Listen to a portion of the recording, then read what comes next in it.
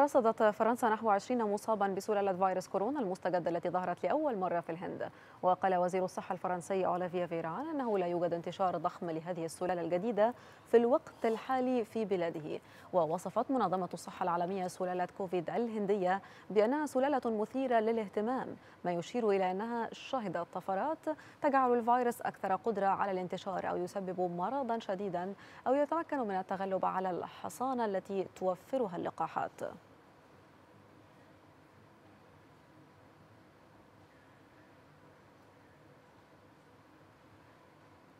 للمزيد من المتابعة من مارسيليا ينضم إلينا خالد شقير مراسل إكسترا نيوز يا خالد بداية أرحب بك معنا في هذه الجولة يعني رصد للسلالة الهندية الجديدة في فرنسا بالتزامن مع حملة إصابات كبرى تقوم بها البلاد حملة تطعيمات كبرى تقوم بها البلاد عفوا وأيضا في اليوم الأول من تطعيم كل من هم أكثر من خمسين عاما كيف هو الوضع الوبائي اليوم في فرنسا وما الجديد حول اكتشاف هذه السلالة الهندية الجديدة؟ تحياتي آية ليك ولكل السادة المشاهدين. فرنسا لا تشهد فقط تقلبات مناخية ولكن تشهد أيضا تقلبات صحية في الفترة التي يعني استعد فيها الجميع. آية للخروج من الحجر الصحي. الرئيس إيمانويل ماكرون أعلن عن خطة بدأت هذه الخطة المرحلة الأولى في الثالث من هذا الشهر. الخطة الثانية أو المرحلة الثانية لهذه الخطة ستكون في التاسع عشر وسيتم من خلالها فتح الحانات الحانات أو الصالات الخارجية أو الساحات الخارجية للحانات والمطاعم. والحياة بدأت الحقيقة عند الفرنسيين تعود إلى شبه الطبيع الطبيعية.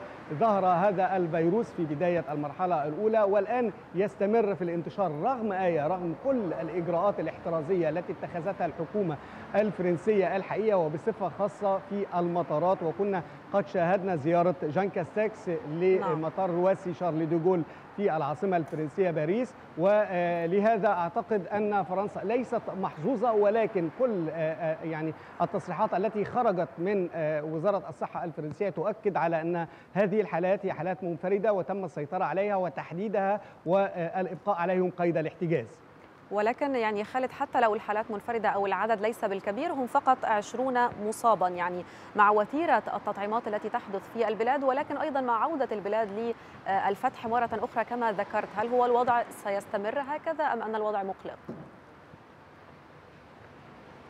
هو الوضع الحقيقة مقلق وبصفة خاصة بعد أن يعني أعربت السلطات الصحية بأن الفيروس المتحور الهندي هو قابل للانتشار وسريع الانتشار نعم. من المعروف آية أن فرنسا تشهد 80% من المتحور البريطاني فإذا هناك كثير من المشاكل وبصفة خاصة بعد أن استمعنا أن هذا الفيروس المتحور يمكن له تفادي هذه اللقاحات أو التطعيمات التي بدأت المسيرة في التسريع من خلالها واليوم ستبدأ من 50 ل 54 عام والأسبوع القادم سيسمح من خلال تطبيق تم توفيره لجميع الفرنسيين اعتبارا من الأسبوع القادم لأخذ التطعيمات بعد أن أظهرت استطلاعات الرأي الأخيرة آية بأن 63 من من الفرنسيين يسعون أو ينمون أو ينتوون أخذ هذه اللقاحات.